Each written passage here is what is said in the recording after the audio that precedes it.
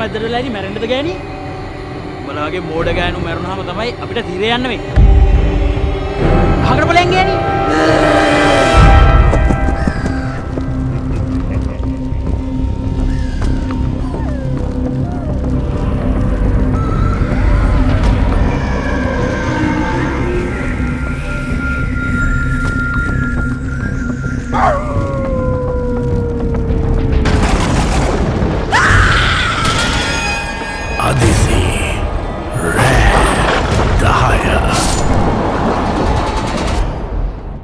මේ අත්දැකීම් ලබනකොට මට අවුරුදු 20යි. එදා 2010 ජුනි 17 වෙනිදා. පාන්දර දෙකට විතර මම මගේ ඩ්‍රයිවර්ත් එක්ක දළදා මාලිගාවට පිටත් වුණා බාරක් ඔප්පු කරන්න. අපි පාන්දරම පිටත් වුණ නිසා මට ටිකක් නිින්ද ගියා. හකට පොලෙන් ගෑනි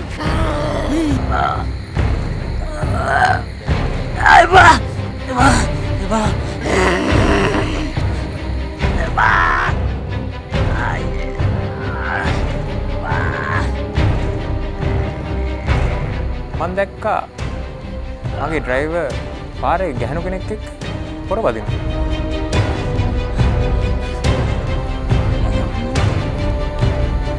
මොකද මිනිහා කරන්නේ? සරෝජනි. ඔයා මොකද මෙතන කරන්නේ? ඔයාව හම්බුන එක හොඳයි. හැම දෙයක්ම මම වෙලාවාවහම කියන්න. මාවනුවර දල්දා මාලිගාවට එක්කන් යන්න. මට හිතාගන්නත් බැරි සිද්ධියක් තමයි සිද්ධ වුණේ. මගේ පාසල් කාලේ මිතුරෙක්ගේ පෙම්වතියක් මට පාන්දර දෙකාමාට්ට මුණ ගැහුණා. අවුරුදු ගානකට පස්සේ එයා මාව අඳුරගත්තා. එයාත් දළදා මාලිගාවට යන්න තමයි ලෑස්තිලා හිටියේ. මේ මංගාව නෙළුම් මලුත් තියෙනවා.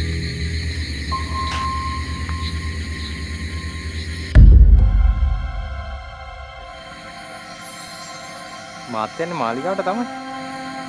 ඒක මං දන්නවා. ඔයා කොහොමද ඒක දන්නේ? අපි යමු.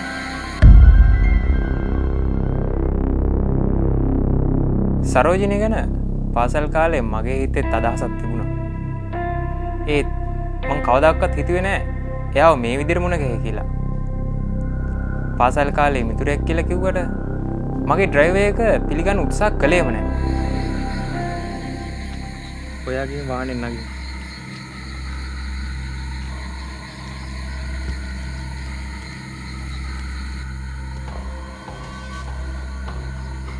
මහත්තය වාන්ට නග ගණ්ඩි පව ගෑනිව පිස්සුද?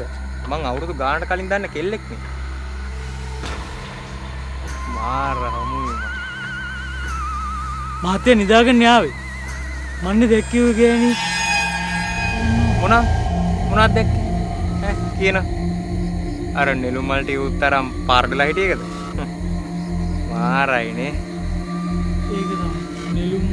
මේ නෙළුම් මලුත් තියෙනවා මල් ළඟ. මේ විකාර නවත්තර නගෙන වාහනයට සම්සර නිතිමත ඇති අර වතුර බෝදලෙන් මූුණ හෝද ගන්න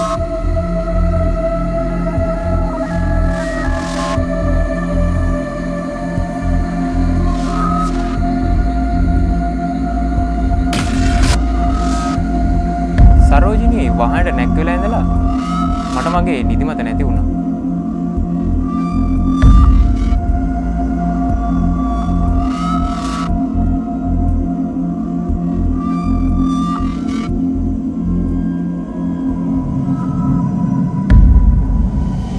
එයාගේ හැසිරීම් රටාව මට හිතා ගන්න බැරුව හිටියේ.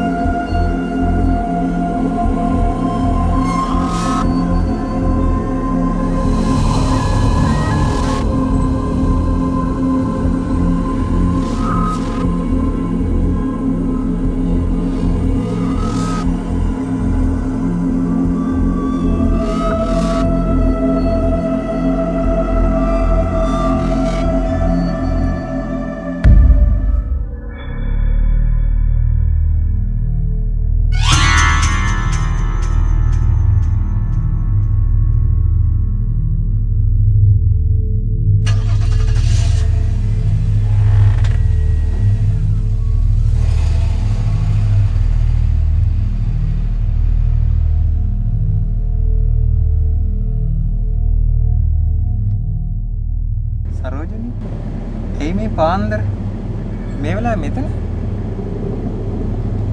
මං ඔයාට හැම දෙයක්ම වෙලාව ආවහම කියන්නම් විසල්.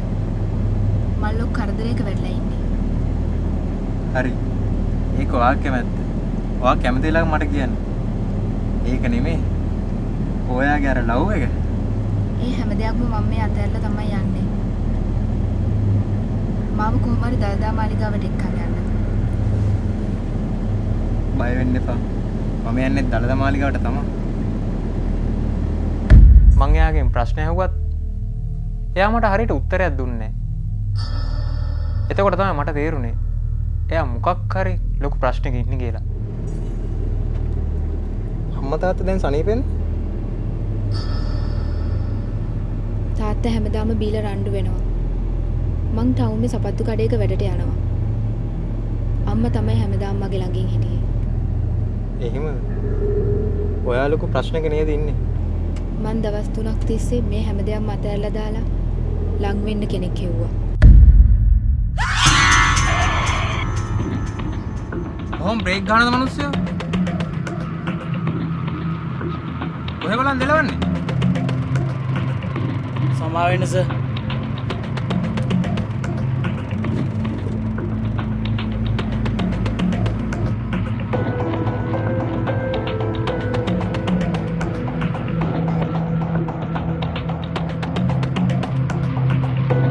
ටික දුරක් ගිහින් අපි තේ බොන්න නතර කළා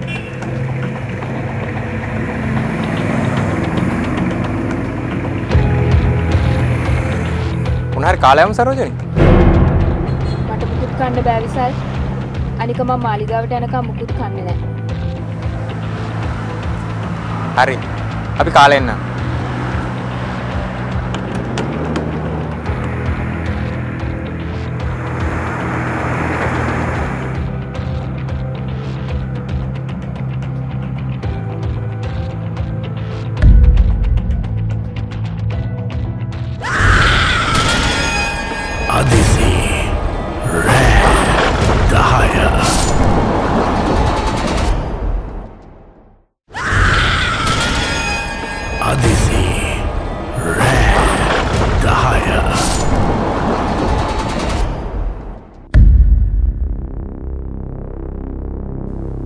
මම සරෝජනීට තේ බොන්න එන්න කිව්වත් එයා එන්න බෑ කිව්වා.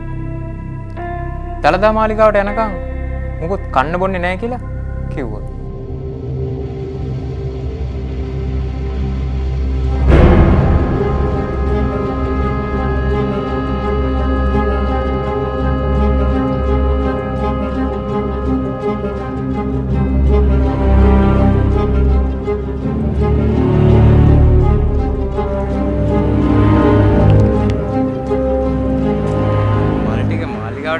යනකොට පර වෙලා තියෙනවා.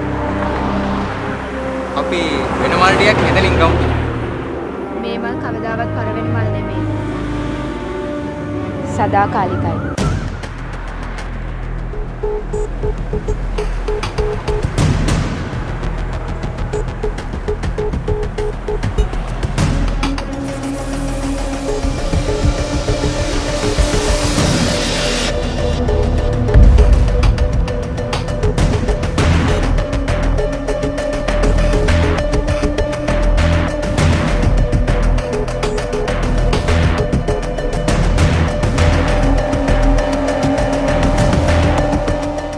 පාන්දර අපි දළදා මාලිගාවට ළඟා වුණා.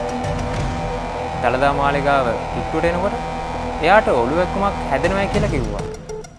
හැබැයි කොහොම හරි දළදා මාලිගාවට එක්ක යන්න කියලායි කිව්වේ.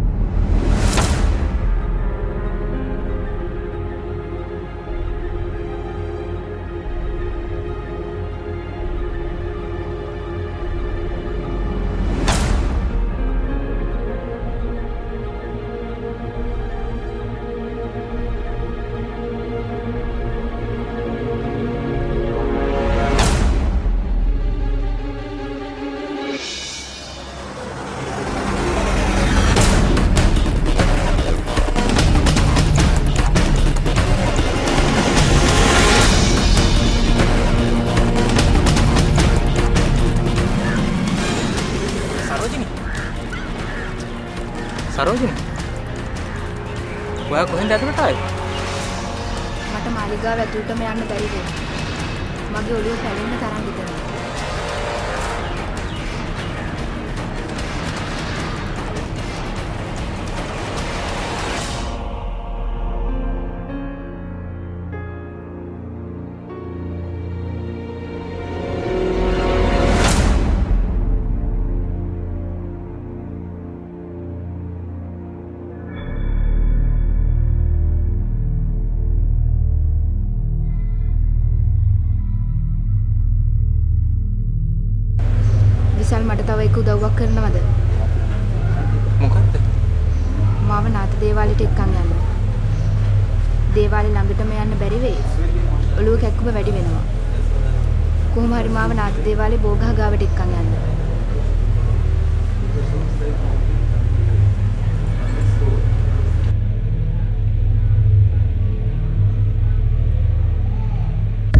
මම කොහොමරියාව නාත දෙවලටත් එක්කන් ගිය. මගේ අතින් අල්ලගෙන එයා පහන් එකින් එකට පත්තු කළා.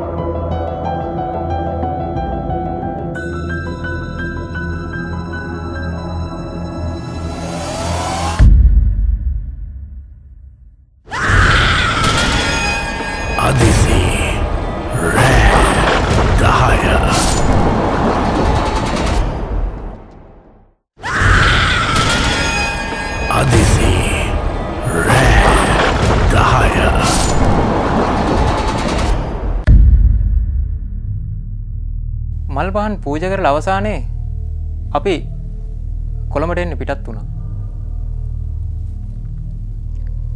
සරෝජනීගේ හැසිරීම් රටා වෙනස් වුණා. මගදිකට එනකොට සරෝජනි මාත් එක්ක කතා කරන එක අඩු කළා.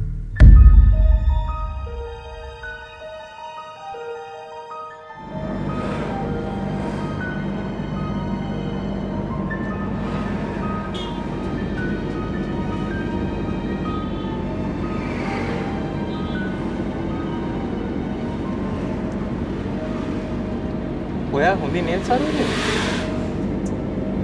මම දැන් තමයි ගොඩාක් හොඳින්. එහෙනම් ඇයි මාත් එක්ක කතා නොකර යන්නේ?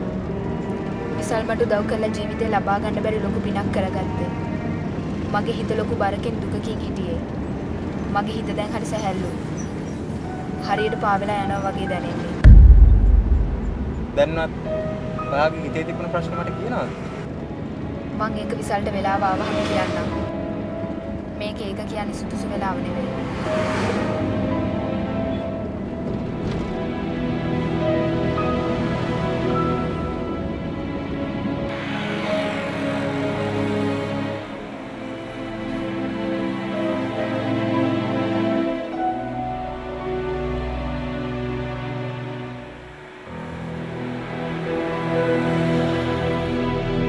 අපි කොළඹට එන අතරදී බඩිරුම් කන්න තැනක නැවත්තුවා. සරෝජනී මාත් එක්ක හොඳින් කතා කරත්? මට තිබ්බ එකම පෙහෙලිකාව එයා මුකුත් කෑව බිව්වේ නැති එක. මම හේතුවේ එයා එහෙම කෑව බිව්වේ නැත්තේ? එයාට තියෙන ලොකු ප්‍රශ්න නිසා වෙන්නේ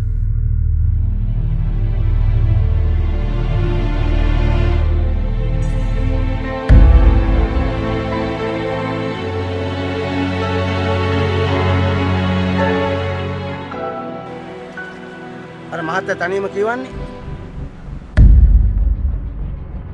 ඈ? තමසට පේන්නේ නැද්ද? එතන මහත්තයත් එක්ක නෝනා කෙනෙක් ඉන්නවා. එහෙනම් හොල්මනක් වෙන්න ඇති.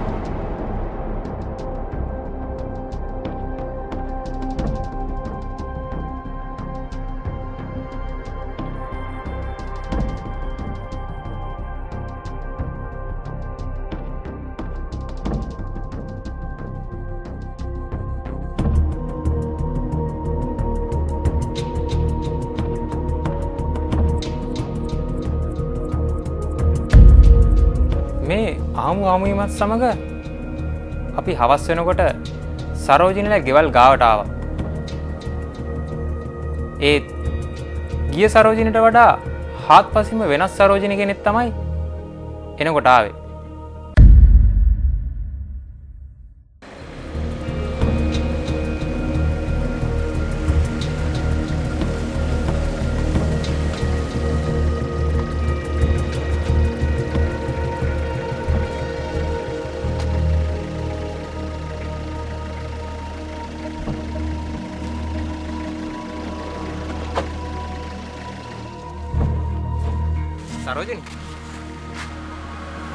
කල්පනා කරේ සරෝජනිට මම උදව්වද්ද කළේ නැත්තං සරෝජනී මගෙන් උදව්ව බලාපොරොත්තු වනාද කියලයි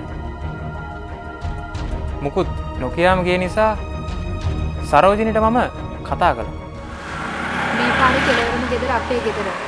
මම යන්නම්. අද රැට මං කෝල් එකක් දෙන්නම් විසල්. අපි ගිය ගමන කාටවත් කියන්න. හරි ඕකේ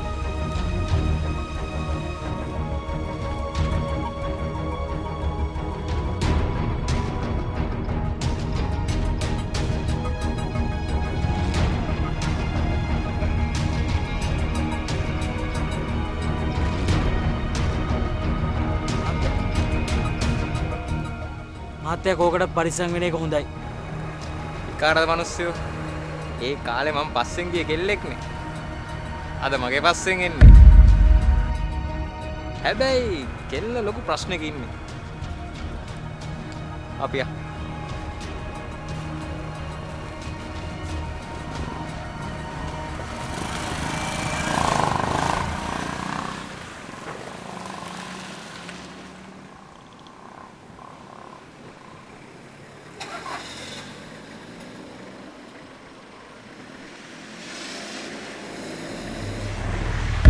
සරෝජනගේ වෙන්නිමත් සමගම මම ගෙදර ඇවිත් මුළු රෑම කල්පනා කළා. දවල් දවසම එයා මාත් එක්ක ගතකරපු ආකාරය මං කල්පනා කළා. එයා මට කෝල් කරනවා කියපු නිසා මං එයාගේ කෝල් එක බලාපොරොත්තු වෙන හිටියේ.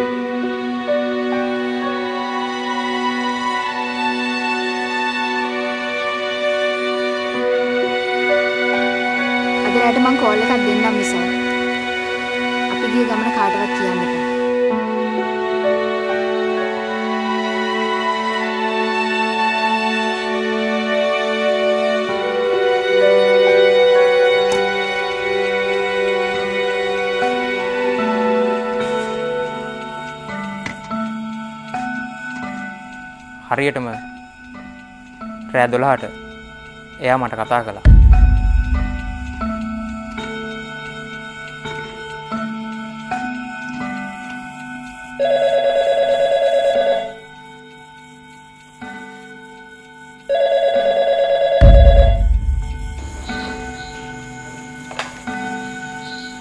හෙලෝ විසල් හෙට උදේ අපේ ගෙවල් පැත්තේ ඇවිල්ලා යන්න එන්න. මම ඔයාට හැමදේම කියන්නම්. හැබැයි අපි ගිය මේ ගමන ගැන කාටවත් කියන්න එපා. හෙලෝ හෙලෝ සරෝජිනි හෙලෝ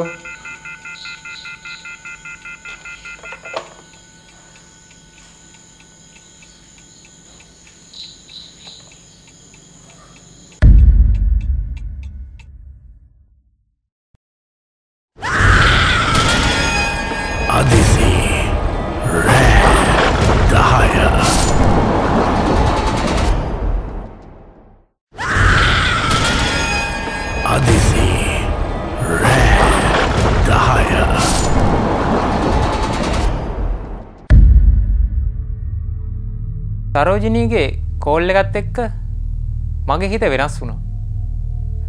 පාසල් කාලයේදී සරෝජනීගේ හිත දිනාගන්න එක එක දේවල් කරපු මට මෙහෙම එක පාරටම මුණ ගැහිලා සරෝජනීගේ ගෙදරට එන්න කීප එක මට හිතා ගන්න බැරුණ. ඒක මට හීනයක් වගේ.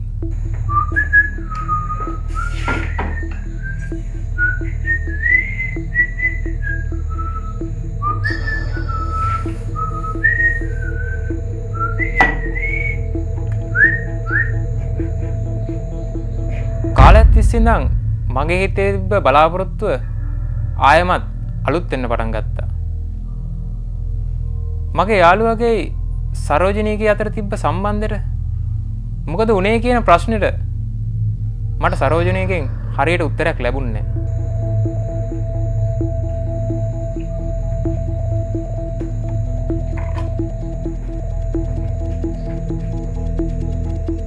මං සරෝජනය බලන්න යන්න ලැහැස්තෙන්නේ කොහොමද කියලවත් මගේ හිතේ තිබුන්නේ. අපේ ජීවිතවලදී අපි දේවල් බලාපොරොත්තුනත් අපිට ඒ දේවල් ලැබුන්නේ. ඒත් සමහර අවස්ථාවලදී අපි බලාපොරොත්තු නොවනත් අපිට ඒ දේවල් ලැබෙනවා මං දරාගන්න බැරි සන්තෝසයකින් සරෝජනය බලන්න පිටත් වුණා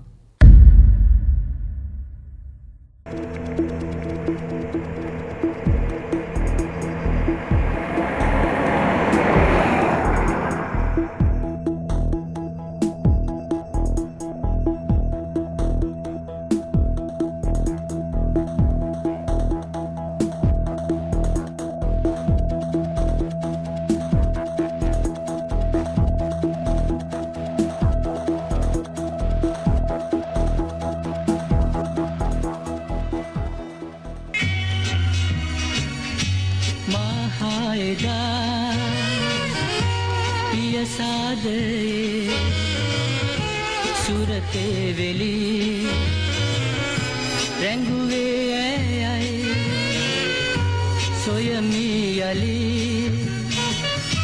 දකිනාතුරා කොහෙදෝගියේ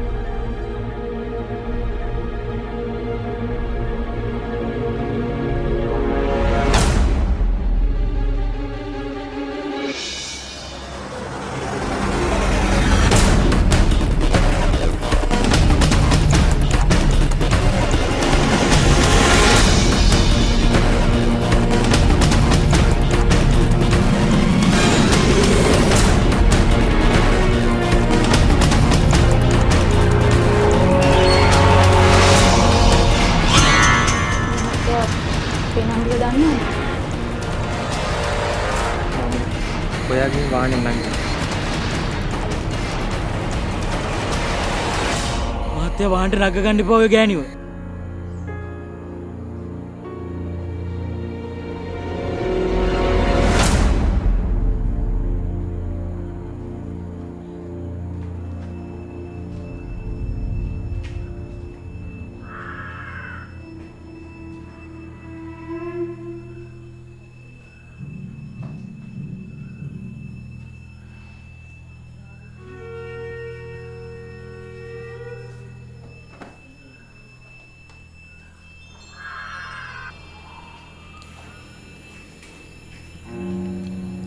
ඇයි මෙහෙම දෙයක් වුණේ නංගි දැම් මාසෙකට කලින් වැඩ ඇරිලා එනකොට රෑ නමයට විතර බස් එකක ඇක්සිඩෙන්ට් වෙලා සිහිය නැතුව හිටියේ මල්ලෝ කරදරයක වැටලා ඉන්නේ. පෙරේද තමයි සිහිය ආවේ මං දවස් තුනක් තිස්සේ මේ හැම දෙයක් මත ඇරලා දාලා ලං වෙන්න කෙනෙක් හෙව්වා. සිහිය ආපු වෙලාවේ ඉස්පිරිතාලෙදි අම්මට කිව්වලු මට දැන් හොඳයි කියලා ඔයා හොඳින් නේද සරෝජනී මම දැන් තමයි ගොඩාක් හොඳින්. එහෙම කියලා. එයා සිහි නැති වෙලා එක පාරටම ඇඳට වැටිලා. විනාඩි පහක් ගියේ නෑ මහත්තයෝ. මගේ නංගි නැති වුණා. ඇක්සිඩන්ට් වෙලා නැති වුණේ හින්දා. මරණ පරීක්ෂණ කරන්න දවස් දෙකක්ම ගියා ඊයේ සිකුරාදා හින්දා නංගි ගේනකොට රෑ 12 විතර වුණා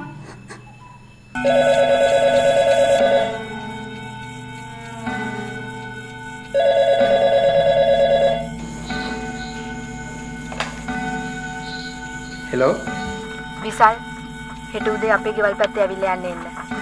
මම ඔයාට හැම දෙයක්ම කියන්නම්. හැබැයි අපි ගිය මේ ගමන ගැන කාටවත් කියන්න එපා. හෙලෝ හෙලෝ සරෝජනී හෙලෝ අදරත් මට හිතාගන්න බෑ. එදා කවුද මාත් එක්ක දළදා මාලිගාව වඳින්න ගියේ කියලා?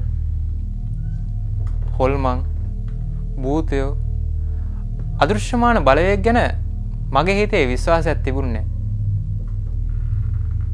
ඒත් මේ සිද්ධියත් එක්ක මේ ලෝකේ එහෙම දේවල් බොරුයි කියලා කියන්න මගේ හිත පිළිගන්නේ. අපේ ජීවිතයේදී මෙහෙම අත්දැකීම් ලැබෙන්නේ බොහොම කලාතුරකින්. එදයින් පස්සේ සරෝජනීව මට මුණ ගැහුන්නේ. කෝල් කළේ නෑ.